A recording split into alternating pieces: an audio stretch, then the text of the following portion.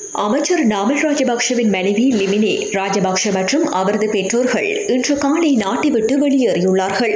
அரசாங்கம் மற்றும் ராஜபக்ஷ குடும்பத்திற்கு எதிராக மக்கள் இடையில் பாரிய எதிர்ப்புகள் எழுந்துள்ள நிலையில் இவர்கள் இவ்வாறு வெளியேறவுள்ளதாக ஆங்கில ஊடகம் ஒன்று தகவல் வெளியிட்டுள்ளது. இதேபடி நாட்டில் ஏற்பட்டுள்ள பாரிய பொருளாதார நெருக்கடியால் மக்கள் நாடு முழுவதும் ஆர்ப்பாட்டங்களில் ஈடுபட்டு வருகின்றனர்.